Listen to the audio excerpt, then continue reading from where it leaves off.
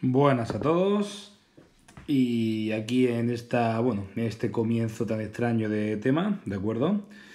Eh, os voy a presentar el nuevo tema que daremos de, de la manera que podamos durante estos días y estas dos semanas. Y es el tema del aparato circulatorio, ya que el escritor nos los quitamos con el proyecto, como ya sabéis. Y bueno, os preguntaré a qué se debe esta pintoresca introducción ¿no? del tema. Y es que eh, se me ocurrió, hay una, se me ocurrió que en relación con el aparato circulatorio y especialmente con el órgano principal eh, dentro de este aparato, que lo constituye, que es el corazón, se me ocurrió relacionarlo con una de mis películas favoritas, que es Piratas del Caribe. Seguramente, eh, con lo que habéis visto ya, o sea, ya aquellos que lo conozcáis, os habrá venido a la cabeza el pirata Davy Jones, el cual es este pirata con forma, bueno, este pirata de aspecto de pulpo, que vemos en la imagen, y la imagen que ya he marcado con un círculo, que sería, por supuesto, el famoso corazón de Davy Jones. En su historia, eh, Davy Jones estaba enamorado de Calypso, si no me equivoco, y él ocultó ese corazón en un cofre. Y de eso trata cierta película. Eh, curiosamente, este, bueno, de eso trata la película de Pirata del Caribe, y curiosamente ese corazón anatómicamente se parece bastante a un corazón de verdad. De hecho, aquí nos encontramos justo en esta parte de aquí, se encuentra la arteria aorta y sería bastante sencillo mm, diferenciar ese corazón en, la en las aurículas y los ventrículos si lo pusiéramos a un, a, examen o una disección anatómica. ¿no? Pues bien, este tema que vamos a ver a continuación es el aparato circulatorio y tiene bastante que ver con este corazón de David Jones ya que el corazón sería aquel órgano, ese órgano que es el impulsor de todo ese circuito, ese torrente sanguíneo que tantas funciones importantes tiene en nuestro organismo. Lo vemos, ¿no? Vamos para allá. Bien, pues imaginaros por un segundo, ¿de acuerdo? Imaginaros que nuestro cuerpo, todos nuestros aparatos, todos nuestros sistemas, es decir, nuestro organismo completo, representase una ciudad. Y esa ciudad, obviamente, va a tener diferentes tipos de partes o de componentes, por así decirlo, que van a participar de forma conjunta a la hora de realizar, bueno, de conseguir suministrar la, de cierta provisión a la ciudad, que ésta funcione bien, y por lo tanto todos esos aparatos o sistemas que van a formar parte de este organismo que sería nuestra ciudad imaginaria, van a conseguir que todo ese organismo y esa ciudad funcione de manera correcta. Por lo tanto, cada aparato o sistema va a tener una función específica dentro de la misma. Vimos ya en su momento el aparato digestivo, el aparato excretor, eh, el aparato respiratorio, algunas de las funciones que tenían dentro de la ciudad. Pero, ¿qué función? digamos, por ejemplo, si el cerebro sería como el ayuntamiento que mandaría órdenes al resto de, los, de las instituciones, eh, ¿cuál sería la función de este sistema circulatorio o aparato circulatorio? Os dejo un par de segundos por si se os ocurre algo y ahora mismo, y ahora mismo pondré la respuesta. Vale. Voy a dejar un poquito más de tiempo, un poquito más, por si se os ocurre.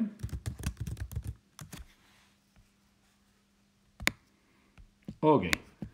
Si alguno lo habéis pensado ya adecuadamente, os daréis cuenta de que la función de este sistema circulatorio es principalmente, sería en este caso, al igual que ocurre con la propia sangre, sería el de distribuir, distribuir todos los nutrientes, o en este caso la mercancía, distribuir la materia prima de, eh, y, el transporte, sí, la distribuir y transportar toda nuestra materia prima a través del resto del organismo. Es decir, la sangre, o por así decirlo, el sistema circulatorio, mejor dicho, representaría esta red de transporte de la mercancía y de la materia prima de la ciudad. Es decir, el sistema circulatorio se encarga de distribuir y transportar los nutrientes al resto de las células o el resto de las ciudades o el resto de los compartimentos de esta ciudad o de los pueblos o de los distritos. Y no solo esto, también, aparte de distribuir esas mercancías, se encarga de recoger las sustancias de desecho. También serían esos camiones de la basura que sirven para recoger las sustancias de desecho generadas durante cierta actividad. ¿De acuerdo? Por lo tanto, esa distribución y ese transporte de los nutrientes y de la sustancia de desecho es la principal función del aparato circulatorio. No obstante, no es, la, única, ya que aparte de distribuir materia prima, este sistema circulatorio, tan importante ahora en tiempos de coronavirus, sirve para también transportar agentes de policía y médicos, es decir, pueden defendernos de ciertas inspecciones, ya que transportan también esos médicos que nos van a ayudar con la sangre a defendernos de ciertas infecciones, por lo tanto ayudan también a nuestro, a nuestro sistema inmunológico y entre otras también hay ciertos obreros que evita que nos desangremos, que evita que se nos produzcan hemorragias. ¿Y cómo es esto? Pues ahora mismo os explicaré los componentes de la sangre.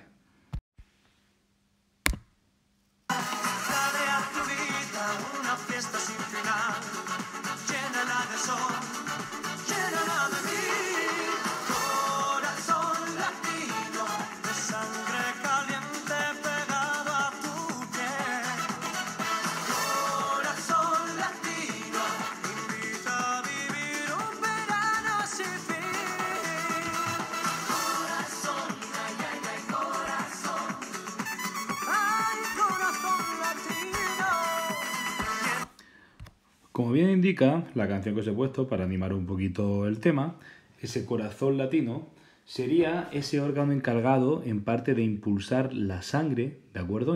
Ese órgano que impulsaría la sangre hacia el resto de los, de, los órganos células para aportar diferentes, bueno, nutrientes, eh, células sanguíneas, etc.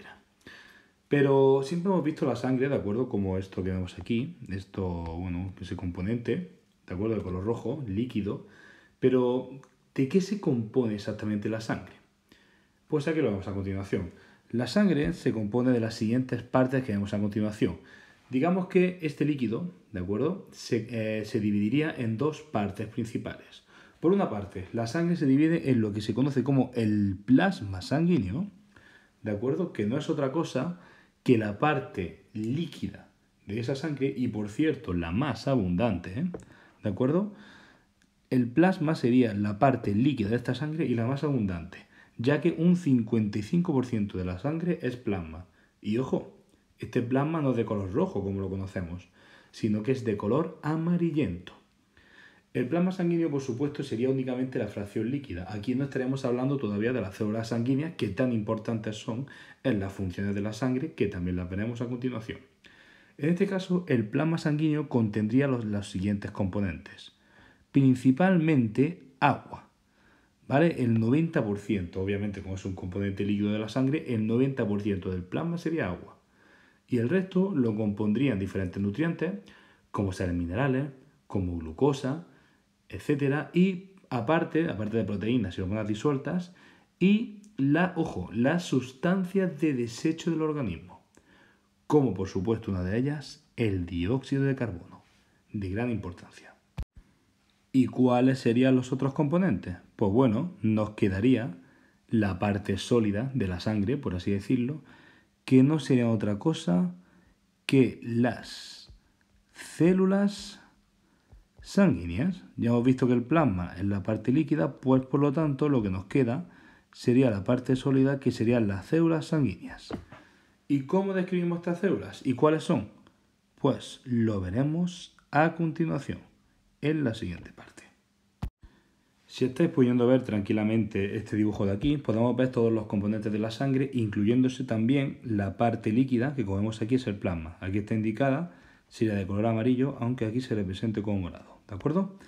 Y ahora vámonos a esas células sanguíneas tan importantes dentro de la sangre, ya que cada una de ellas va a tener una función de bastante calidad y una función diferente dentro de la sangre, lo cual hará esta, este líquido, este torrente sanguíneo, muy, muy diverso en cuanto a funciones. Vamos con los más, los más conocidos, los famosos glóbulos rojos. ¿Cuáles son las funciones de los glóbulos rojos, también llamados eritrocitos? Pues bien, eh, estas células, por cierto, son muy características al no tener núcleo, son de color rojo y, es lo, y son los que dan el color rojo tan característico a la sangre, en parte gracias a una proteína conocida como hemoglobina, que además la hemoglobina tiene una función importantísima, y es que la hemoglobina permite que los glóbulos rojos consigan oxígeno, consigue que los glóbulos rojos unan o, eh, ¿cómo decirlo?, recojan oxígeno de por ejemplo, de los pulmones principalmente, ¿de acuerdo? En el intercambio gaseoso, como vimos, los glóbulos rojos, con esa hemoglobina, que es esa proteína tan importante de la sangre, conseguían coger oxígeno para poder transmitirlo a los diferentes órganos. Por lo tanto, la principal función de los glóbulos rojos serán como los Amazon, por así decirlo, de la, de la sangre. Estos glóbulos rojos son los que transportan el oxígeno, que es la principal materia prima, en la sangre. Son aquellos que transportan los paquetes de Amazon de oxígeno al resto de las células y tejidos. Pero, uy, un fallo técnico, pero las funciones de la sangre no se quedan ahí.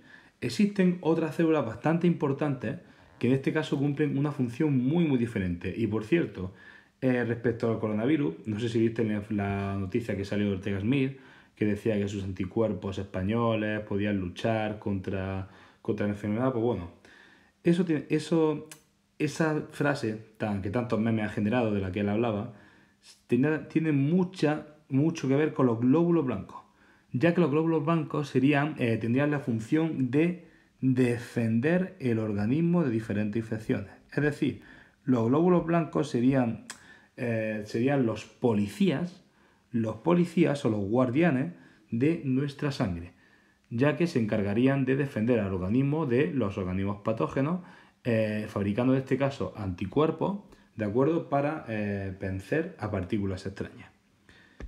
Y además, encima nuestra sangre también tiene eh, una especie de médicos o obreros. Aquellos, más bien, podemos hablar de médicos, que también son muy importantes en nuestra sangre, y son las plaquetas ya que la función de estas plaquetas no es otra cosa que, eh, que la coagulación de la sangre.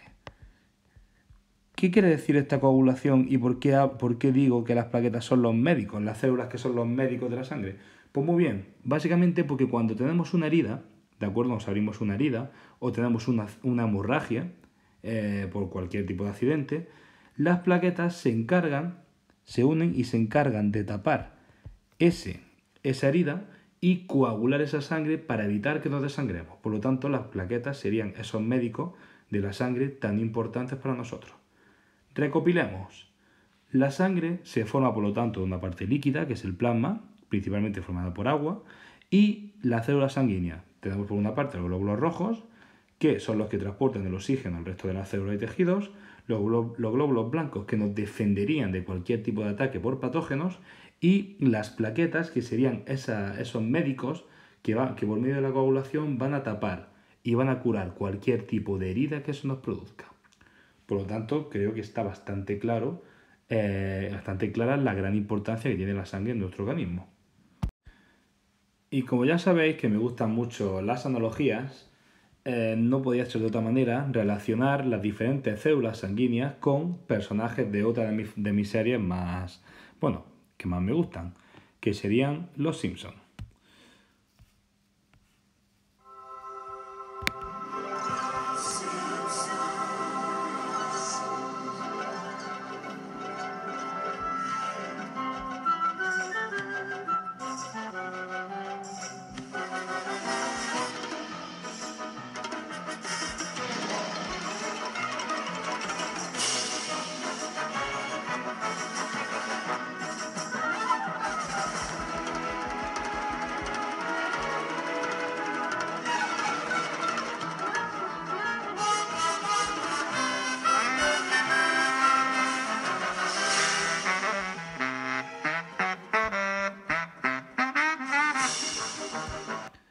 Pues bien, dentro de esas células, como ya hemos visto, las células sanguíneas tenían diferentes funciones. Entre ellas, las más conocidas son los glóbulos rojos. Los glóbulos rojos que serían eh, aquellos transportistas o aquellos mercaderes, por así decirlo, sí.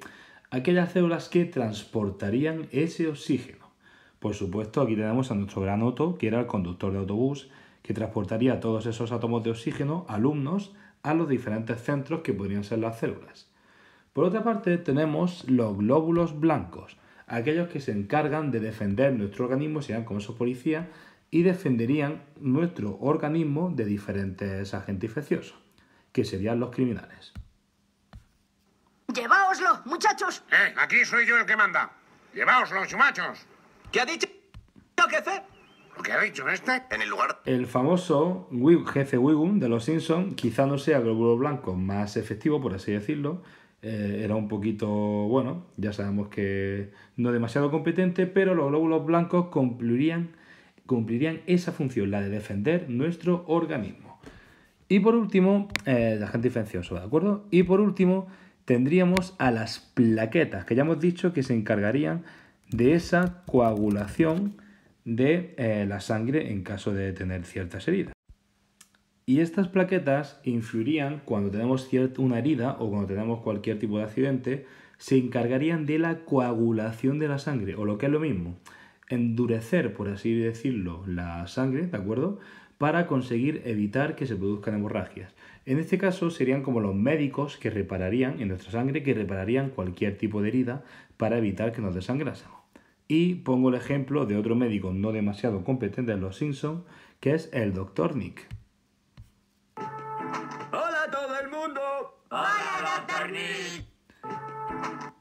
Y eh, por lo tanto, ya hemos visto, hemos hecho un pequeño repaso de todos aquellos componentes de la, de la sangre, entre ellos el plasma, el plasma sanguíneo, que sería esa parte líquida principal, ¿de acuerdo? Formada principalmente por agua, obviamente, y esas células que serían las que le darían las principales funciones a la sangre. Los glóbulos rojos, que además son los que le dan esa, ese color rojizo, sí, rojizo, los glóbulos blancos y las plaquetas.